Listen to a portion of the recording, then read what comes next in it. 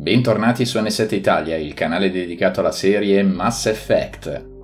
Oggi vi propongo un viaggio nel tempo. Torniamo indietro di circa due anni e mezzo, per la precisione fino a dicembre 2020, e proviamo a rivivere il momento in cui BioWare ci stupì pubblicando il primo e finora unico teaser trailer del prossimo Mass Effect.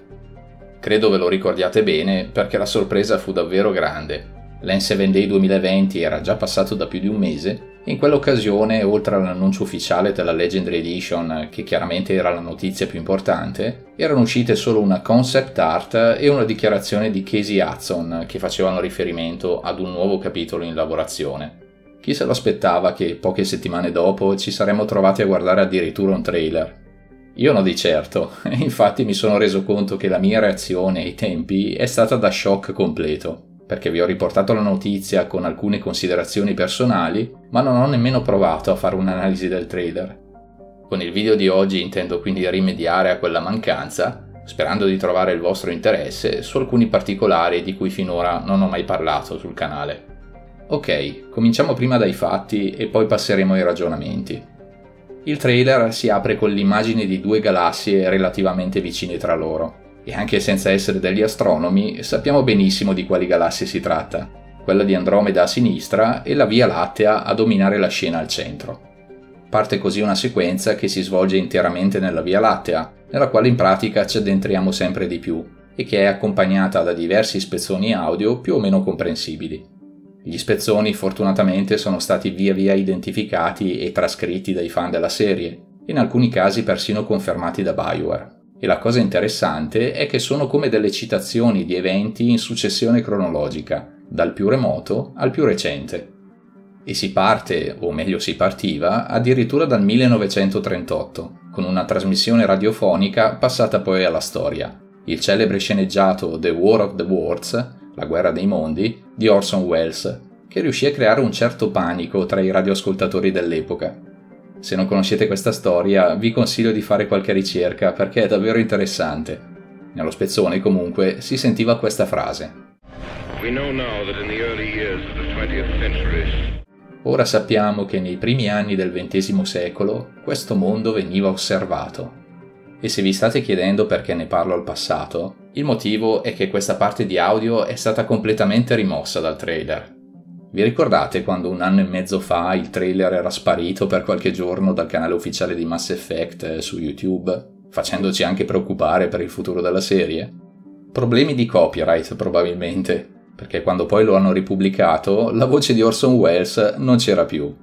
E non è finita, perché anche lo spezzone successivo è sparito con la nuova versione del trailer, e in questo caso si trattava della voce di Charlie Duke, che dal centro di controllo di Houston nel 1969 dava il via libera all'allunaggio degli astronauti della missione Apollo 11.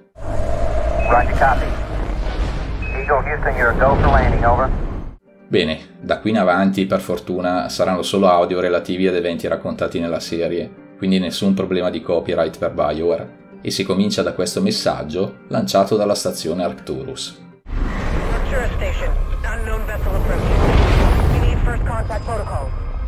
Direi che qui il richiamo è abbastanza evidente. Ci siamo spostati in avanti di quasi due secoli, arrivando alla guerra del primo contatto tra umani e Turian del 2157. Andiamo avanti.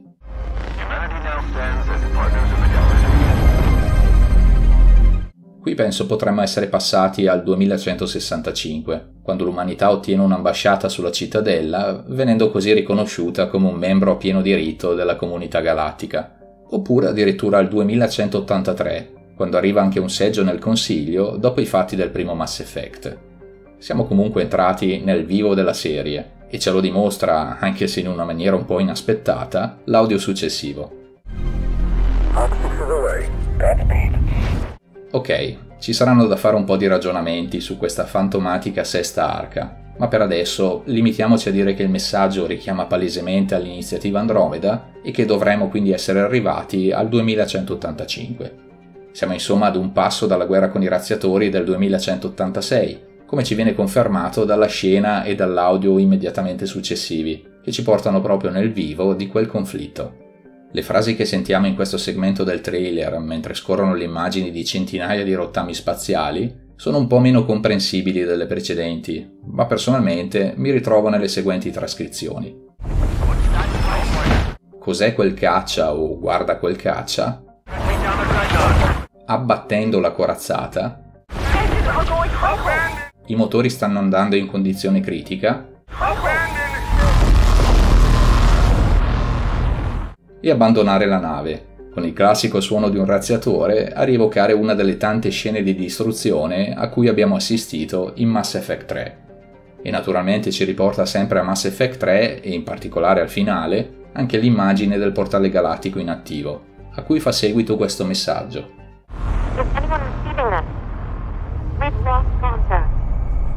Bene, stiamo per arrivare alla parte più famosa del trailer e che sicuramente ricordate benissimo, ma prima possiamo ascoltare ancora un breve spezzone audio costituito da alcune voci distorte e sovrapposte tra loro, di cui mi pare ci sia una sola frase che si distingue abbastanza chiaramente. Letture anomale in tutto lo spazio.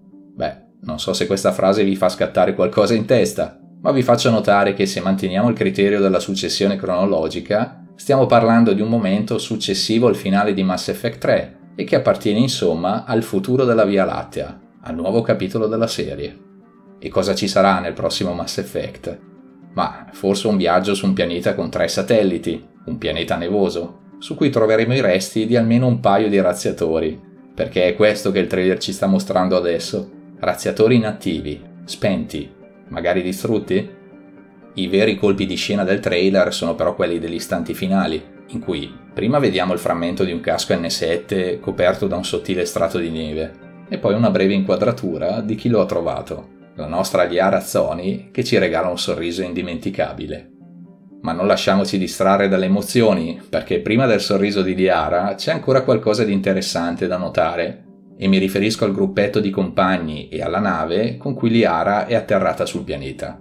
Avevamo già visto una scena simile in occasione dell'N7 Day 2020, e la nave in particolare, che prende il nome di Mud Skipper o Saltafango in italiano, è apparsa anche una terza volta in un libro dedicato ai 25 anni di Bioware, quindi potrebbe essere davvero un mezzo che utilizzeremo nel prossimo Mass Effect. Sui compagni invece non credo si possa dire nulla di certo, ma a me sembra di vedere un Salarian a sinistra, un Krogan a destra e forse un umano al centro. Voi cosa ne dite? Comunque Mass Effect will continue, meno male, e adesso possiamo metterci a fare qualche ragionamento. La prima cosa che mi viene da dire è che sono già passati due anni e mezzo, probabilmente ne passeranno altri due o tre prima che esca il gioco, e quindi non dobbiamo fidarci troppo di quanto abbiamo visto in questo trailer. A dicembre 2020 in BioWare avranno avuto probabilmente qualche idea in testa su quale direzione dare al prossimo Mass Effect, ma direi che possiamo escludere con ragionevole certezza che ci fosse già una sceneggiatura completa anche perché il narrative director Mary DeMarle è stata assunta solo la scorsa estate. Detto questo, nel trailer ci può comunque essere qualche anticipazione di contenuti o temi che verranno poi ripresi nel gioco, e il primo esempio che mi viene in mente è quello del ritorno di Liara, che mi sembra sia ormai confermato dopo le notizie dell'ultimo in 7 Day. Non è escluso poi che ai tempi fossero già state fatte altre scelte importanti per il futuro della serie, e questo potrebbe aver persino inciso sulla decisione di Casey Hudson di lasciare l'azienda, che è stata resa pubblica una settimana prima dell'uscita del trailer, una coincidenza quantomeno sospetta. Casey Hudson, per chi non se lo ricordasse, è stato il project director dei primi tre Mass Effect, potremmo quasi dire il padre della serie, e non mi sorprenderei se un domani si venisse a sapere che se n'è andato perché era in disaccordo con qualcuno, magari proprio in tema di scelte strategiche per il prossimo capitolo. Intendiamoci, sono solo illazioni, ma se vogliamo azzardare delle ipotesi, ce n'è una che secondo me ci potrebbe anche stare. Magari Casey Hudson voleva un sequel che tenesse conto delle decisioni prese dai giocatori nella trilogia, e qualche pezzo grosso di Electronic Arts gli ha fatto capire che non era proprio il caso. Troppo complicato sviluppare un gioco del genere, meglio semplificare scegliendo un finale canonico. E già che ci siamo, infiliamo anche un bel indizio nel trailer, così cominciamo a preparare il pubblico. Qui non so se siete d'accordo nell'interpretare questa sequenza con i resti di due razziatori come un faro che punta al finale rosso, chiaramente se ne può parlare, ma è anche vero che se volevano restare sul vago era meglio non mostrarceli del tutto, oltre al fatto che, per esempio, non vediamo i segni della sintesi sul volto di Liara. Lasciamo però in sospeso la questione e torniamo un passo indietro, alla prima parte del trailer. I primi messaggi audio sono interessanti, quello dalla guerra dei mondi mi fa pensare in particolare ai Leviatani, e ci si potrebbe anche soffermare sui vari ammassi e sistemi per provare ad identificarli dall'aspetto. Ma se devo dirvela tutta, l'audio che mi ha più incuriosito è questo, quello della sesta arca. Quale sarebbe la sesta arca?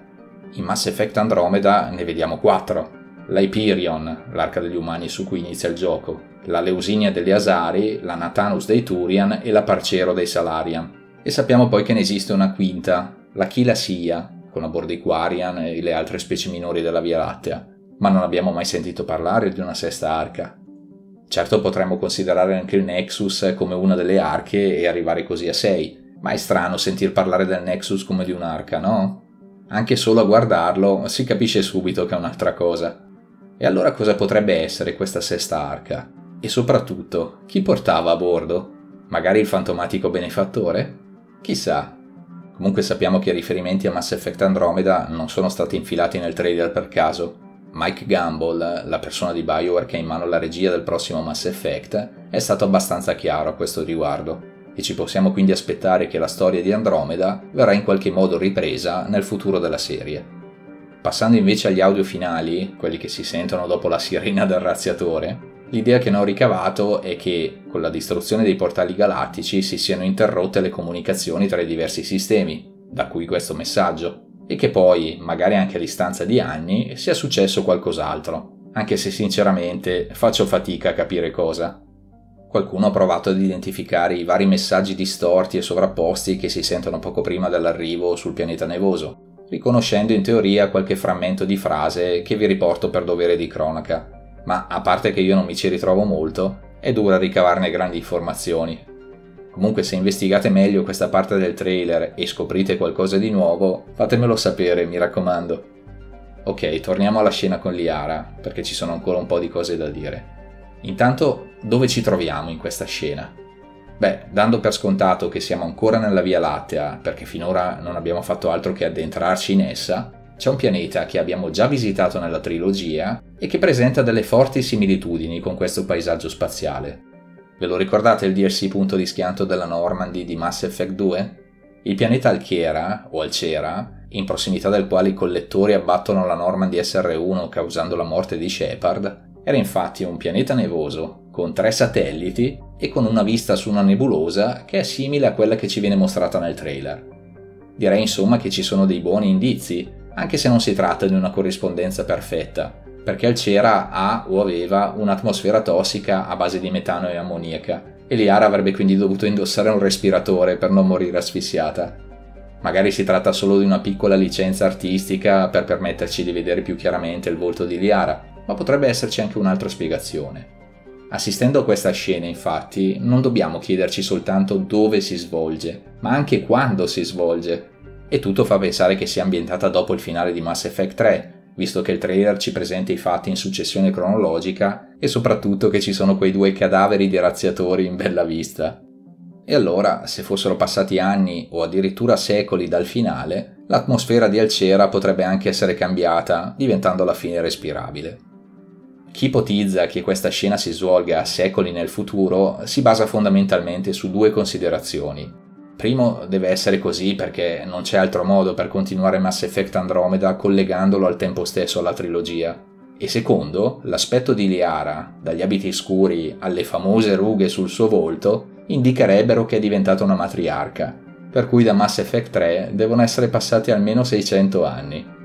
Sulle rughe di Liara mi sono già espresso in passato con un video interamente dedicato all'argomento, quindi stavolta vi risparmio i ragionamenti e vi dico solo che secondo me non ci sono proprio le basi per affermare che la Liara del trailer sia invecchiata di secoli rispetto a quella di Mass Effect 3. Magari poi si scoprirà che è davvero così, ma questa scena non è di certo bastata a convincermi. Ritengo invece probabile che sia passato del tempo, anche qualche anno, dal fatidico 2186, perché se vogliamo credere che questo frammento di casco N7 sia un richiamo al comandante Shepard, e io penso che lo sia, devono per forza essere capitate un bel po' di cose tra il finale di Mass Effect 3 e questo momento. Se Liara sta cercando Shepard, perché lo cerca su Alcera o comunque su questo particolare pianeta? Cosa è successo a Shepard dopo la distruzione dei razziatori? Ammettiamo anche che sia sopravvissuto come ci viene mostrato nel finale rosso perfetto, ma poi con i portali galattici distrutti, anche solo lasciare il sistema solare sarebbe stata un'impresa, figuriamoci arrivare fino ai sistemi Terminus. Belle domande su cui si potrebbero imbastire tanti ragionamenti, ma restando con i piedi per terra, dobbiamo considerare che non è affatto sicuro che Shepard sia sopravvissuto al finale di Mass Effect 3 e che Liara lo stia veramente cercando in questa scena del trailer.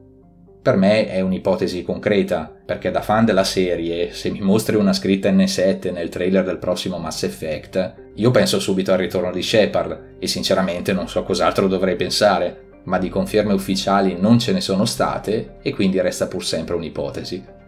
Voi cosa ne pensate? Il trailer di dicembre 2020 vi ha convinto che BioWare intenda canonizzare il finale rosso e riportare Shepard nel prossimo Mass Effect? Magari anche solo in un flashback o come personaggio secondario? Oppure no? Il trailer non può dirci niente perché è stato preparato quando non c'era nemmeno una sceneggiatura, o comunque può essere interpretato in altri modi senza contemplare il ritorno di Shepard. Fatemi sapere le vostre idee nei commenti. Io voglio solo dirvi, e con questo concludo, che il materiale pubblicato da BioWare negli ultimi due anni e mezzo, dal poster con i Get dell'N7 Day 2021 al video con l'audio nascosto di Liara dell'N7 Day 2022, non mi pare abbia annullato il valore di questo trailer, che rimane ancora, almeno dal mio punto di vista, la cosa più interessante che abbiamo visto sul prossimo Mass Effect. Pollice su se avete apprezzato l'approfondimento e ci sentiamo al prossimo video. Ciao!